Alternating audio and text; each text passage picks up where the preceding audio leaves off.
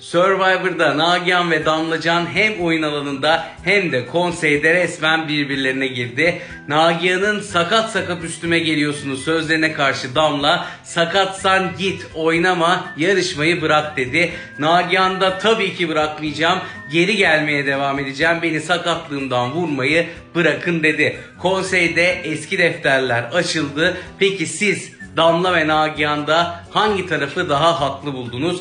Ayrıca Yunan Birleşme Partisi'ne giden Türk yarışmacılardan Aleyna geceye Yunanistan televizyonunda damga vurdu. Aleyna çok konuşuldu. Aleyna'nın da ona sarılan bir yarışmacıdan kurtulma anları çok fazla tartışıldı. Siz Yunan Survivor'ındaki görüntüleri merak ediyor musunuz? Önümüzdeki günlerde biz de kendi TV8'imizde bunları göreceğiz.